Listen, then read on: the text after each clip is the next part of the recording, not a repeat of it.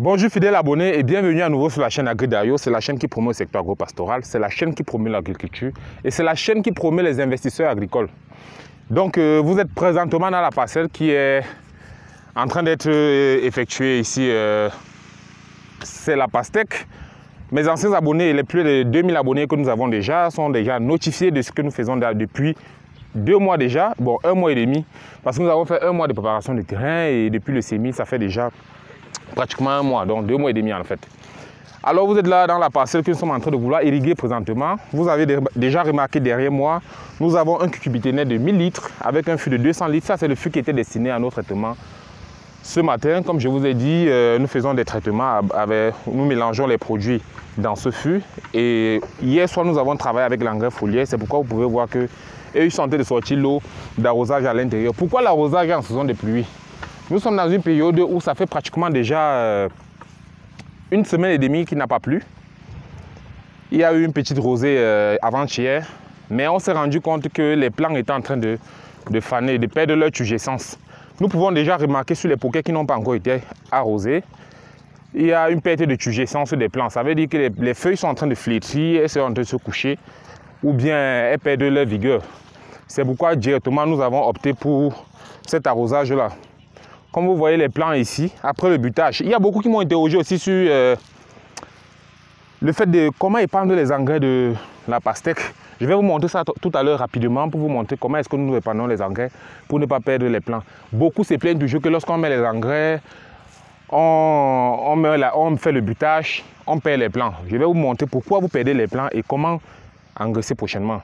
Vous pouvez déjà remarquer ici que nous avons fait un, engr- un engraissage à base de nitrate de calcium plus 12, 14, euh, 14, 23, 14. Le 14, 23, 14, c'est pour renforcer le système racinaire. Et le nitrate de calcium c'était pour corriger. C'est justement la raison pour laquelle je vous ai dit que dans la suite de nos vidéos, je vais vous présenter comment est-ce qu'on va corriger ce pH qui a été acide dans le poquet et même très acide, 4,5 voire 5. C'est justement à base du nitrate de calcium. Le calcium va déjà synthétiser la libération de certains micronutriments qui sont dans le sol parce qu'on s'est rendu compte que dans les poquets, le pH était à 4,5 voire 5. Or, hors des poquets, le pH était à 6, 7, 6,5, 7.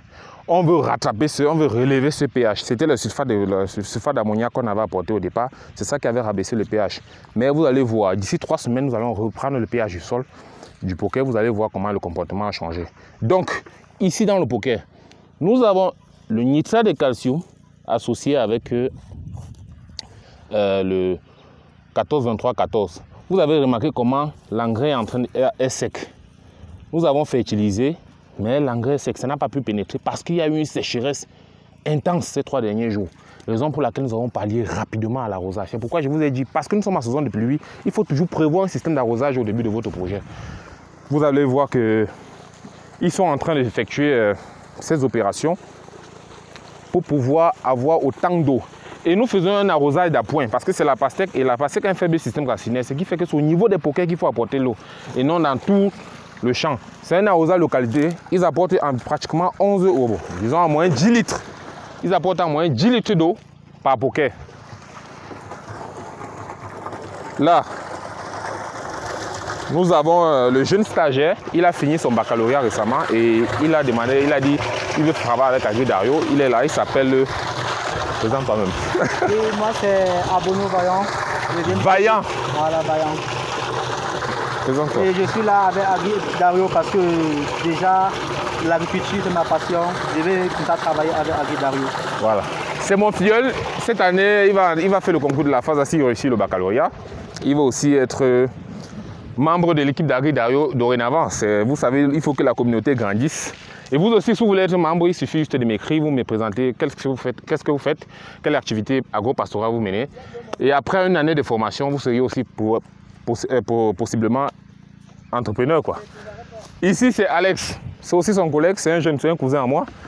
Il est aussi en stage parce qu'ils ont fini le baccalauréat récemment. Et tu peux dire quelque chose à mes internautes? Euh, bonjour très fidèle abonné à, à la chaîne Aki Dario. Moi c'est le cousin de Dario comme vous pouvez le constater. Je suis venu là pour l'aider afin de pouvoir accélérer les travaux. Je suis là comme un faute quoi. Et là-bas derrière, vous avez celui que vous connaissez déjà, c'est l'ingénieur Cliff Wanko. Et il est dans son stage de troisième année à la FASA. Il est aussi en train d'effectuer l'opération que vous connaissez tous, l'arrosage. Alors, qu'est-ce que tu peux nous dire? Euh, Il est bilingue. Hein? Euh, bonjour, bonsoir, fidèles abonnés.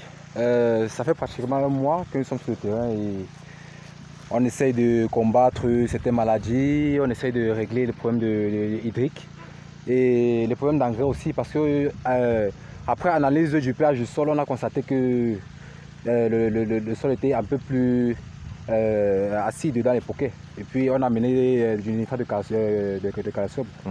pour essayer de régulariser.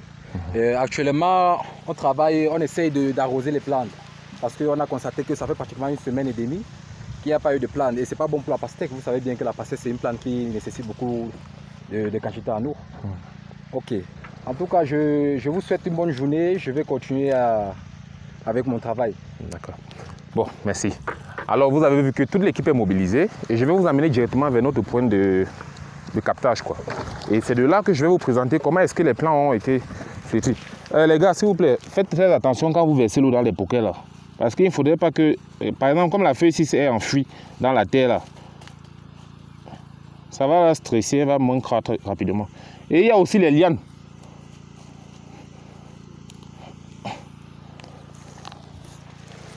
Donc c'est ce qui est en train de se faire depuis le matin. Parce que euh, on ne voudrait pas accuser un petit retard. Vous avez vu, il est, il a à peine 13 heures et les plants étaient déjà en train de flétrir. Regardez par exemple le plan-ci. Vous avez vu comment il perd sa turgescence. Cet arrosage ici va lui donner un, nouveau tempérament demain, d'ici demain matin. Demain matin, je vais prendre une autre vidéo rapidement fait pour pouvoir vous présenter comment est-ce que euh, cet arrosage a, a apporté du bon. Oh là là là là.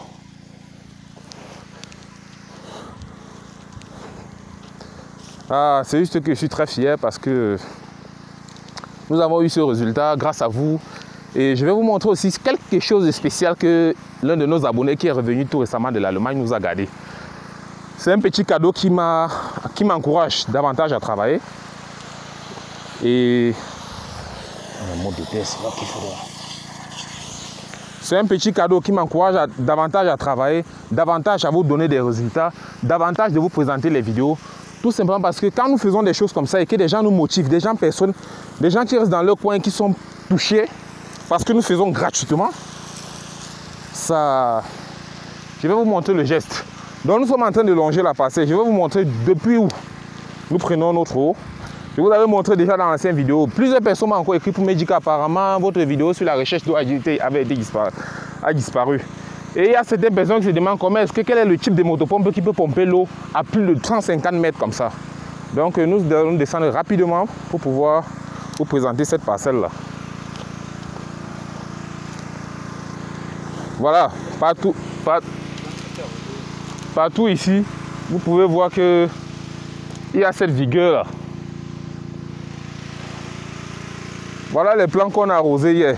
Vous avez vu qu'en haut là, ils étaient moins sans. Mais ici, comme on a arrosé hier,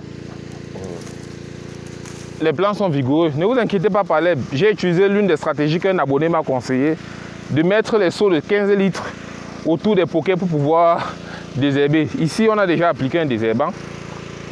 Regardez ceux-ci. À la même heure, regardez comme ils sont vigoureux. Parce que ceux-ci ont reçu de l'eau hier. Donc, euh, il n'y aura pas de retard dans notre croissance. D'ici dans deux semaines, on va attaquer la phase de floraison. Et je vais vous montrer encore quelque chose de spécial que j'ai prévu pour la floraison.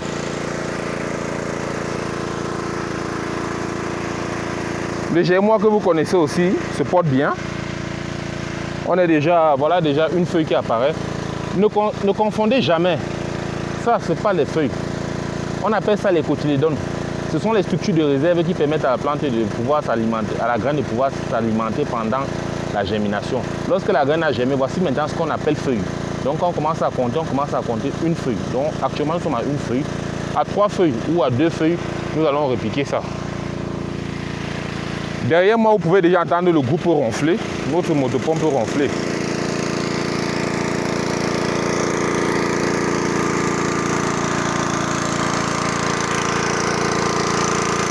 Voilà. pour être plus loin du bruit et pour que vous ce soit bien audible. Voilà euh, notre motopompe, c'est un Kimax. C'est une capacité de renvoi de à près de 1500 mètres. Mais ça va dépendre de la pente. Si la pente est moins forte, une pente de 2%, à 1500 mètres, vous pouvez avoir l'eau. C'est un motopompe King Max pour ceux qui peuvent le commander déjà dans, la localité du. ceux qui sont au Cameroun. Et vous pouvez déjà commander votre motopompe chez Agri Dario parce que nous sommes en partenariat avec des grandes boutiques qui nous donnent des appareils à moins de prix. Quoi. Vous avez la motopompe là et nous avons le tuyau bâche. Le tuyau bâche qui permet d'atteindre maintenant le début des tuyaux. Par endroit, nous avons des fuites à cause de la forte pression qui a permis de déchirer les tuyaux. Mais bon, ça c'est gérable. Donc euh, nous remontons, je vais vous prendre une quantité d'engrais que je vais vous montrer maintenant comment épandre les engrais pour ne plus jamais perdre les plants lors de l'épandage des engrais. Alors j'ai réservé une petite quantité pour, vous, pour vous présenter rapidement cela.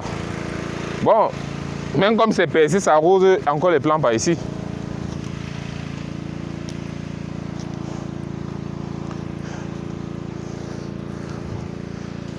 Voilà, tous ces plants ont été euh, arrosés hier. Jusqu'à présent, ils n'ont pas de problème. Et la parcelle va toujours, euh, comme je vous avais présenté, on circule facilement parce que nous avons fait un, un. Nous avons tracé notre champ avec des écartements de 2 mètres x 2, ce qui fait qu'on circule librement dans la parcelle. Je n'ai pas peur d'écraser un plan. Et même lors des traitements, nous sommes toujours en train de traiter aisément. Actuellement, nous dépensons pratiquement 11 pulvérisateurs pour pouvoir gérer tous nos traitements. Et vous avez vu comment nos plants sont sains. Il y avait quelques dépôts de mildiou. Vous avez vu quelques petites attaques de mildiou. C'est la saison des pluies, c'est normal. Et nous avons géré. Donc, euh, et aussi un peu de mosaïque dans la zone. Mais bon, c'est pas représentatif. Et quand on voit un plan qui est déjà atteint, il n'y a plus rien à faire, on arrache simplement, on jette. Voilà. Vous voyez comme l'irrigation, quand l'arrosage se fait ici, c'est un arrosage à point qui est apporté ici. C'est ça. Il arrose comme ça. Sans toutefois déranger les feuilles, sans toutefois déranger les plantes. Elle s'alimente en eau et elle continue le cycle. Vous avez vu comment les engrais sont en train de s'incorporer lentement et doucement. Et notre petit hangar que nous avions déjà construit sous vos yeux, ça nous abrite nos matériels, tout, tout, tout, tout. Et l'ingénieur Philippe qui s'est absenté aujourd'hui. Mais toujours nous avons notre petit secret. ça c'est pour la forme.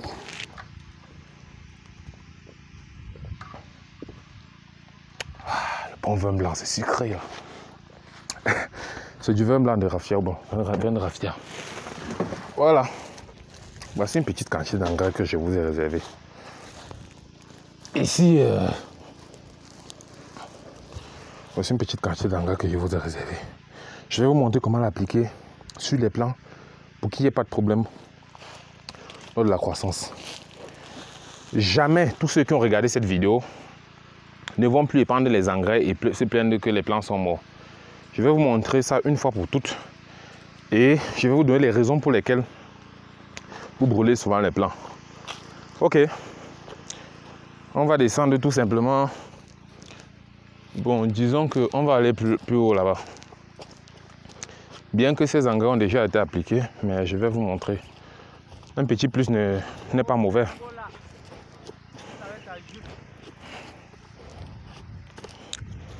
Par exemple, nous sommes dans ce poker peut-être. Prenons d'abord les pokers plus jeunes. Quand vous avez un poker jeune comme ça, ce que les gens font généralement, c'est ça. Comme ça. Non, ça c'est quoi ça? Regardez. Regardez ce que vous faites. Vous mettez l'engrais auprès du plant. Lorsque la plante est en train de... Lorsqu'il y a un coup de soleil, la température du milieu, du milieu autour des plants commence à être à s'élever. En bas du sol, ça commence à s'élever. C'est pourquoi on parle du potentiel. On calcule souvent le potentiel évapotranspiration. On calcule le potentiel évapotranspiration de la zone pour pouvoir connaître quelles sont les pertes lié par, par évaporation lors d'un coup de soleil.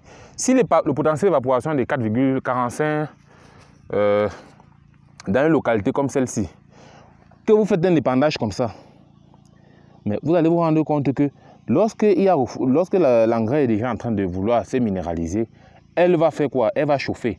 Et lorsqu'elle chauffe, lorsqu'elle est en train de se minéraliser, elle chauffe. Et quand elle chauffe, la température au niveau des racines augmente, la température au niveau de la tige augmente et par conséquent, le plant meurt. Ça, ce n'est pas la magie. Pourtant, je vais directement écarter. Pourtant, je vais vous montrer comment un épandage se fait. Et soyez, soyez sage. Vraiment, retenez ça une fois pour toutes. Ce n'est pas en mettant l'engrais au pied du plant là que la plante va assimiler. Il y a ce qu'on appelle la mobilité des engrais dans le sol. Même si on met l'engrais ici, la zone-ci, pendant qu'il y a arrosage, l'engrais va se disperser. Et les plantes absorbent les engrais ou les éléments nutritifs par les racines secondaires, voire auxiliaires. Donc vous avez un plant, vous avez plusieurs racines. C'est au, bout de ces petites racines-là que la plante absorbe les éléments nutritifs.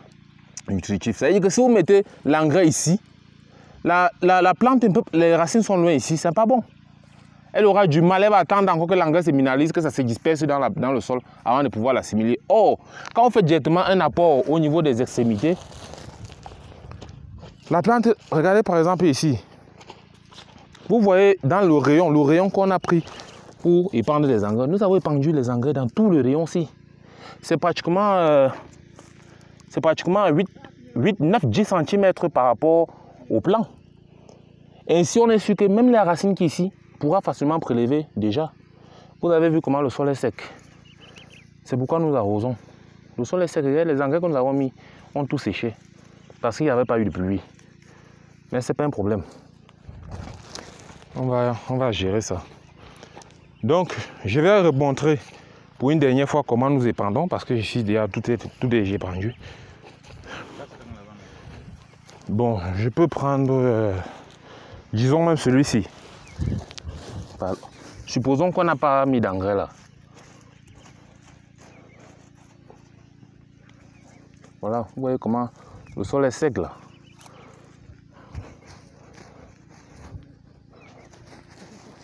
sol est sec.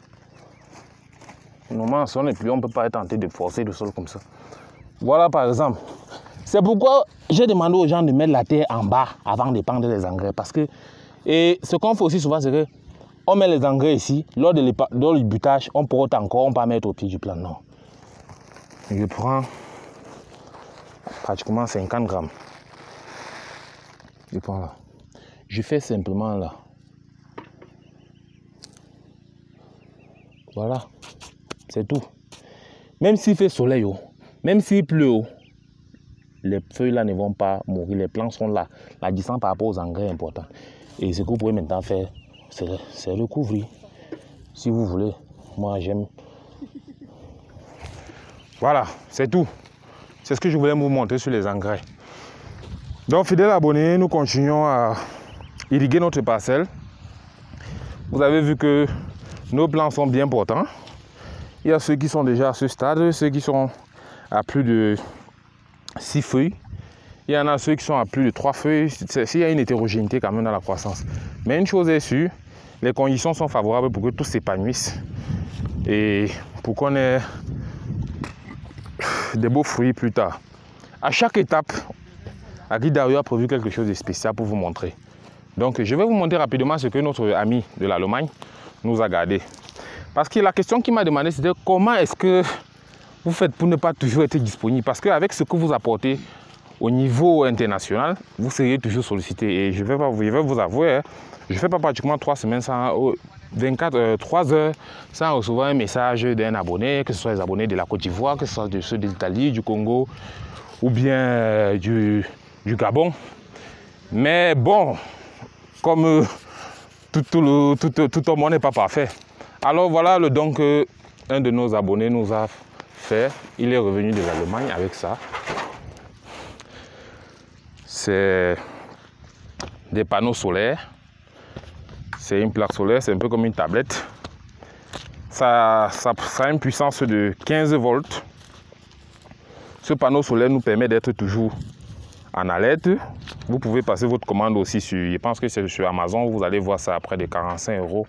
Vous comprenez comment les personnes sont contentes de ce que nous faisons. Et nous avons reçu ce don. Voilà, les téléphones sont en train de charger. Chacun a branché son téléphone là. Et, en 4 heures, les téléphones sont déjà pleins. Chacun peut déjà passer à une autre personne. il, y a, une sortie de 2 ampères et une sortie de 1 ampère pour les smartphones et tout ça. Donc, euh,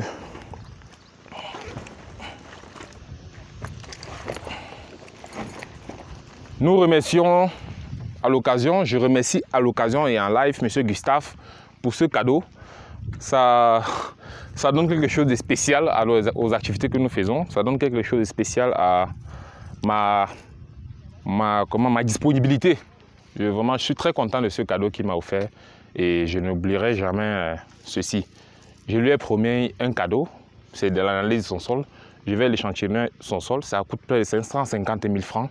Je vais le faire gratuitement. Je vais aller prélever son sol, tester, évaluer son pH, mesurer le NPK qui est dans son sol pour pouvoir lui faire une recommandation d'engrais. C'est son petit cadeau, c'est votre petit cadeau surprise de M. Gustave. C'est plus une surprise puisque je vous ai déjà dit. Je vais vous faire don de 150 000 francs. Donc, euh, fidèles abonnés, nous restons abonnés chez AgriDario et nous partageons. Merci déjà pour tous ceux qui permettent que nous puissions prospérer en abonnés. Et aujourd'hui, nous sommes déjà en train d'avoisiner les 2000 abonnés. Mais je vous ai dit, l'objectif reste le même, c'est d'atteindre 5000 abonnés avant décembre. Ciao, ciao. Derrière la caméra, vous avez une fois de plus Jean-Zobert Romani. Vous l'avez rencontré dans l'autre vidéo qui parlait du maïs. Et maintenant, il est derrière la caméra pour cette phase, pour cette rubrique de présentation de la parcelle. Ciao, ciao. Et à plus à la prochaine vidéo. Demain, je vous montre les plans.